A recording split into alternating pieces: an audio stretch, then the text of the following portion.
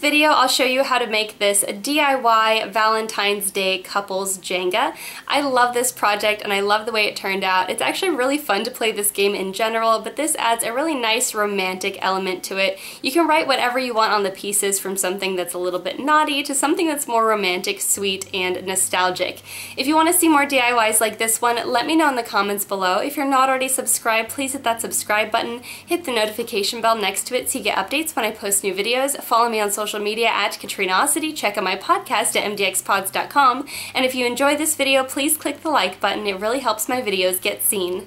For this, you just need your Jenga set. I used a mini one, a Sharpie, and a fine tip pen. Begin by drawing hearts on the edges of your Jenga pieces. This, of course, is optional, but I think it adds a nice touch to the game. Keep in mind that the ink will bleed a little bit because of the grain of the wood, so use a light touch. Then draw all of your options on each of your game pieces. These can be either actions or questions that you ask one another. You can make it as naughty or as sweet and nostalgic as you prefer. Then set up the game, and it gives you a really great excuse to do something fun and romantic together. Thanks for watching. If you want to see more DIYs like this one, make sure you hit that subscribe button. And if you enjoyed this video, please click the like button. It really helps my videos get seen.